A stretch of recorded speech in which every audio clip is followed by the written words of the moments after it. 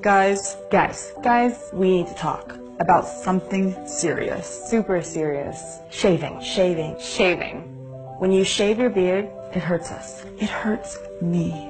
We love your beard. I love how it makes you look like a man. We love to touch it. It makes us feel safe. You just look better with the beard. Like a fierce Viking warrior. You look like a lumberjack, which I like. You have no right, no right. No right to cut off your beard.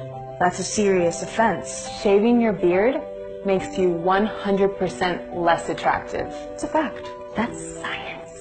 Stand up Stand up. Stand up. and be a man. If you're already standing, sit down, then stand up again. We don't need boys, We need men. men. No more bald baby faces. Respect yourself. Grow.